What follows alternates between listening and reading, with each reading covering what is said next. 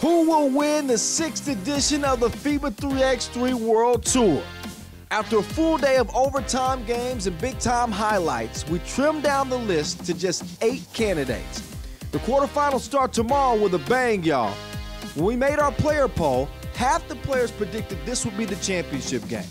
Novi Sad Al-Wahda against Liman, the number one team in the world against the youngest squad in Beijing in a rematch of the absolutely mental semifinal of the Debrecen Masters.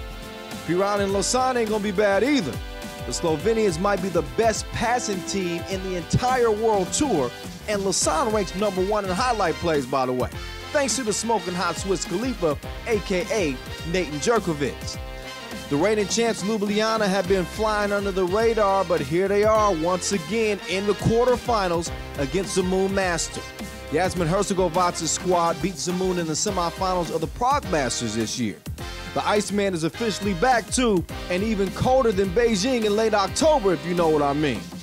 Last but not least, an exciting Riga team gets a second look at Kranj after beating them in the pools phase at the Debrecen Masters. After Laus and gang survived an opening loss and even managed to win their pool, nothing can stop them. They all the way up. Hey, make sure you follow us live tomorrow on youtube.com slash FIBA3x3 and drop the hashtag 3x3WT. Tomorrow we make history, y'all. Peace out.